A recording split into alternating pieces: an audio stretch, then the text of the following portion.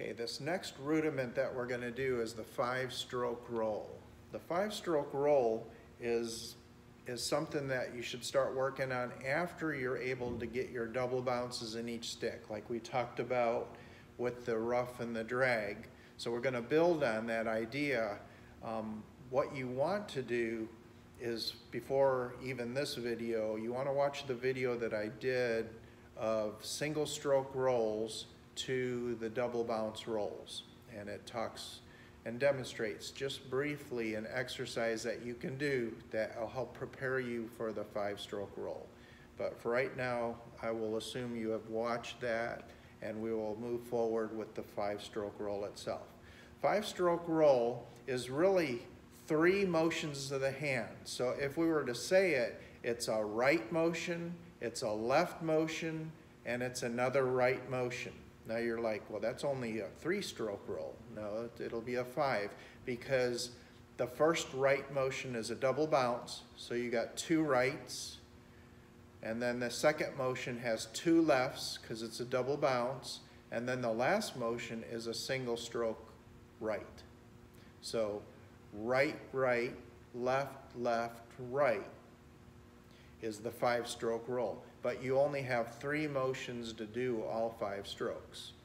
So I'm gonna really loosen my fulcrum point so I can slow down the bounce. That's how I control the speed of the bounce. The looser the fulcrum, the slower the bounce, the tighter the fulcrum, the faster the bounce.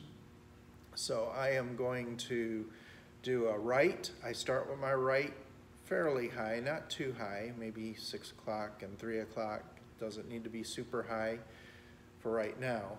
So I just want to get double, double, tap. And that's how I remember it, double, double, tap when I put it together. But for right now I'm going to separate them. So double, double,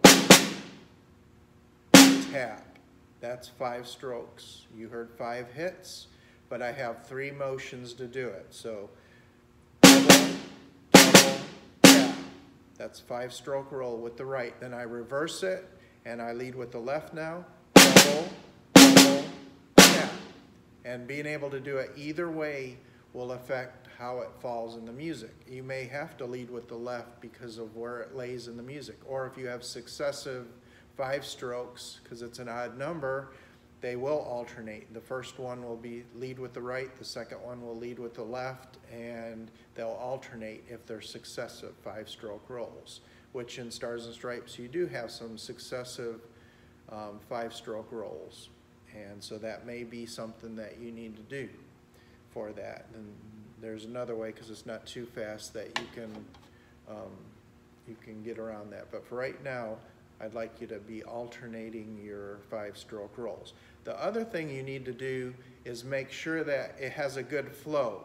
So in order for it to sound like a five-stroke roll, it can't be broken up like I just did. I just did that so you know how to do it. It needs to go together. So once I'm double bouncing this one, this stick is getting ready to double bounce and then this stick is getting ready to hit. So double, double, double, or double, double tap double, double tap, double, double tap. Okay, so I'm going to do that and I'm going to kind of push it. So I'm prepping this stick while this one's still double bouncing. This one's getting ready to come down and continuing. So I hear da da da da da, da da da da da. That's what I want to hear. Double, double tap.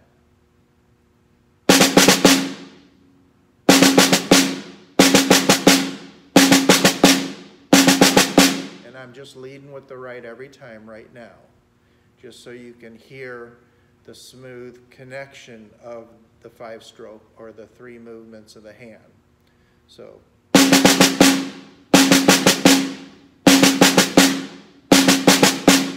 Now if I want to speed them up, as I speed them up, I'm increase, all I'm doing is increasing the tension of my fulcrum. I'm not changing how hard I hit. I am just going speed it up by increasing the squeeze on the fulcrum. Here we go. Slow.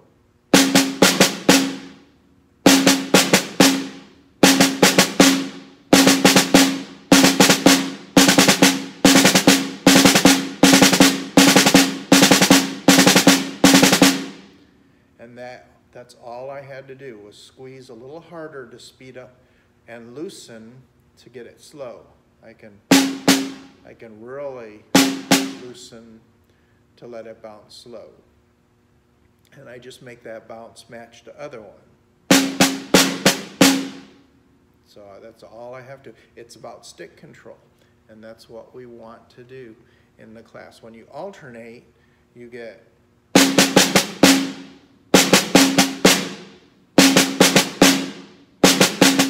and your goal is to make them sound the same. I'll do my best for you here.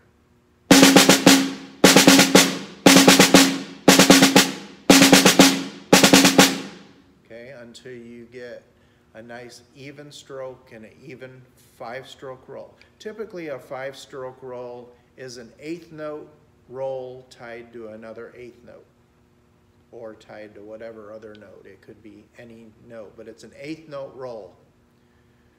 Um, that's notation wise, and that's how you would see it in music. So if you see an eighth note with, it already has a flag, so typically a roll has three lines over it, but since it's an eighth note, it already has a flag or a line, we can call it, then it'll have two slashes over it, which still make it a 32nd. And that's that right, right, left, left. And then the next eighth note would be the right, the finish of the rudiment. So the rudiment actually is two notes that we'd put together, okay? And so I hope that's a help to you and very important, five-stroke rolls. Again, that is in your stars and stripes, and so you should work on that a lot. Um, isolated, all right? Thank you.